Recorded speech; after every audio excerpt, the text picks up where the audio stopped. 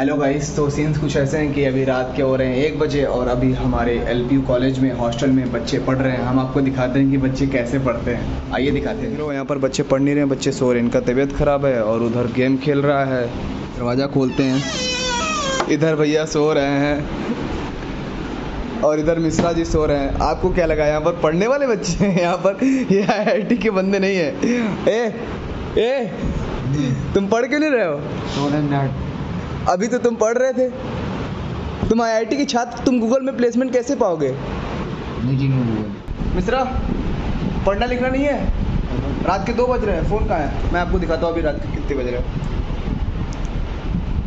देख रहे हो इस रात के एक बज के चौवन मिनट हो रहे हैं और ये सो रहे हैं। मतलब पढ़ पढ़ोगे तभी तो गूगल में प्लेसमेंट मिलेगा। कह रहा नहीं चाहिए। चलो गाइस हम जा रहे हैं पढ़ने इनको सुने दो गुड नाइट